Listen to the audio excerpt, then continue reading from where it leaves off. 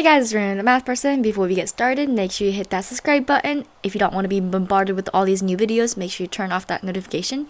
Other than that, let's just dive right into this question. In this video, I'll be going over question 88 on SOA Exam P, so pause the video real quick and try this problem yourself. Okay, as you're tempted, let's just dive right in. So they say for the a good driver, the exponential it is exponentially distributed for a good driver, it's exponentially distributed with a mean of 6.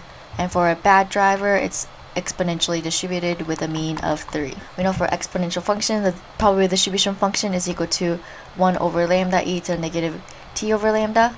So for g, it must be equal to 1 over 6 e to the negative, I'm going to say good for g over lambda, which is 6 and then for bad driver, it's going to be the same, 1 over 3 e to the negative t, but then these t values are different, so I'm going to call this one b2, b to b over 3, and this should be lowercase g actually. And then so, and then we know that these are independent, right? Independent. So we can actually, for independent functions, the f of g comma b will just be equal to f of g times f of b so in our case, it's going to be 3 times 6, 18, e to the negative g over 6 times e to the negative b over 3. And we're asked to find what is the probability that the good driver will file in 3 years and bad driver will file within 2 years. Okay, cool stuff, cool stuff. So if we're integrating respect to good drivers, let's start that first. The upper limit's going to be 3 and our function is going to be right here, 1 over 18, e to the negative g over 6, e to the negative b over 3, dg. And for bad drivers, it's going from 0 to 2, because it's saying within, so it has to be less than the 2 and the less than the 3. So this is what we get. If we're integrating respect to g, so then 1 over 18, e to the negative b over 3 is a constant. Taking the derivative here, you get this is equal to negative 6 e to the negative g over 6, right? Integrating this from 0 to 3.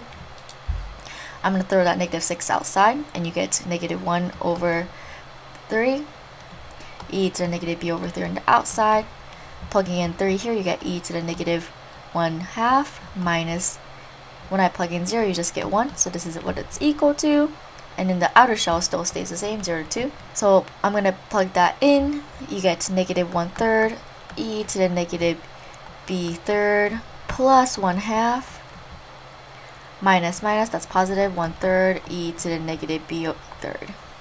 And, and we're integrating respect to db, 0 to 2. Cool, so then taking the antiderivative, this one right here is just going to give you positive 1 e to the negative b over 3 plus 1 half. And right here is also going to give you a negative 1 e to the negative b over 3, integrating this from 0 to 2 plug in the upper limit, you get negative e to the negative 2 thirds plus 1 half minus e to the negative 2 thirds minus, pl plugging in 0 here, you get e to the negative 1 half plus e to the 0 here is just going to be 1. Okay, okay, we can simplify this down. So this is right here e to the negative 7 6 minus e to the negative 2 thirds minus e to the negative 1 half plus 1. Is that what we have? Is that one of the choices? Oh, yes it is. There is our answer C. If you guys have any questions, feel free to leave them down below. Otherwise, as always, make sure you like, subscribe, and share. Bye!